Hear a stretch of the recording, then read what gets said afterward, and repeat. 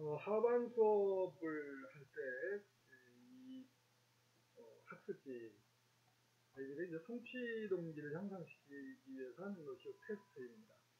테스트가 아주 쉬워요. 짝 맞추기 3개, 이 A, B, C 요 3개, 어, 어, 해석하고 뭐, 마- 맞추는 건데요. 하반 애들도 그렇게 어렵지 않게. 객관식 문제, 그의 가족들에게는 버티라고 알려진 어, 논투 요거겠네요. 요거, 그 다음에 예, 저주를 받았기 때문에 여기도 뭐 어, 어, 존을 통해 A가 되겠죠. A. 뭐 웹상으로도 할 수 있습니다. 예? 이것은 그가 원- 조지 왕은 어, C가 되겠고 여기 이제 B가 되면서 아주 쉬운 그 어, 선택형이 됩니다.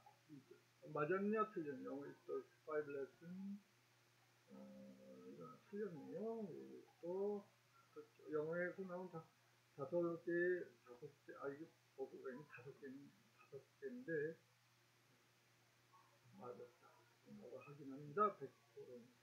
그래서 어, 테스트 문제지를 이렇게 복사해서 마찬가지로 어, 한글에다가 아, 붙여 넣어서 아, 학습지를 음, 이처럼 학습지가 딱 라인 편집을 해서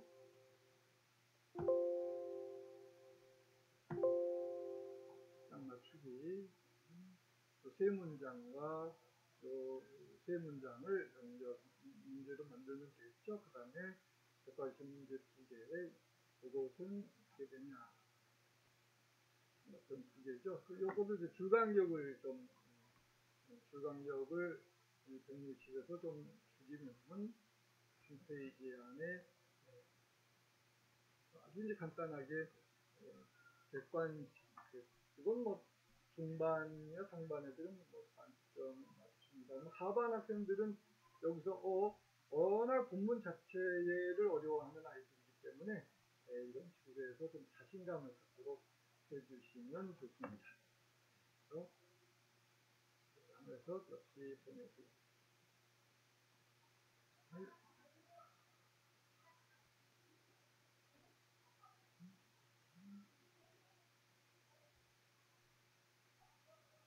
영어 8은 15장 맞추기 객관심 하반 수업에서 아주 어, 아이들에게 자, 자존감을 향상시키는데 음, 기여를 많이.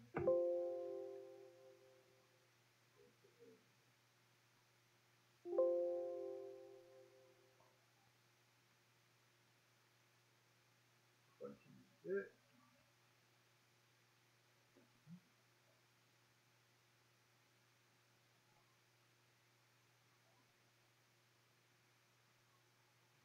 퀴즈를 음, 퀴즈를